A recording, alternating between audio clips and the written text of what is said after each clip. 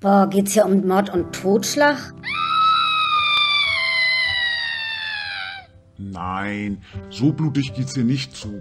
Aber es geht schon um Gewalt, um psychische Gewalt, sexuelle Gewalt, um Machtverhältnisse und alte Verletzungen zwischen den Geschlechtern, zwischen Eltern und Kindern, zwischen den vielen Personen in einer Seele.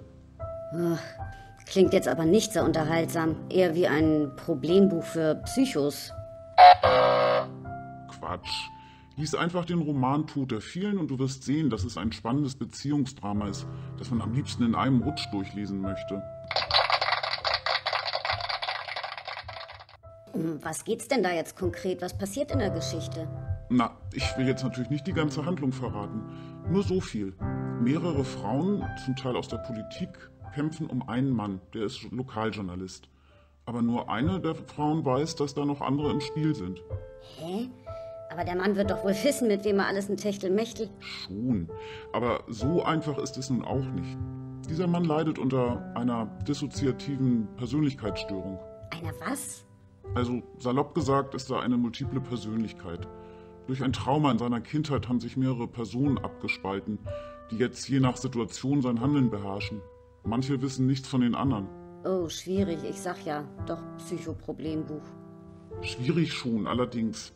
Aber trotzdem spannend. Einige Personen sind roh und verletzend und andere, die sehen sich nach Innigkeit und Liebe. Die Vergangenheit sehen diese Personen anders, als sie sich wirklich zugetragen hat, aus Selbstschutz. Und dann gibt's da noch die professionelle Person fürs Berufsleben, aber die wird wiederum von der Beziehungsperson gesteuert.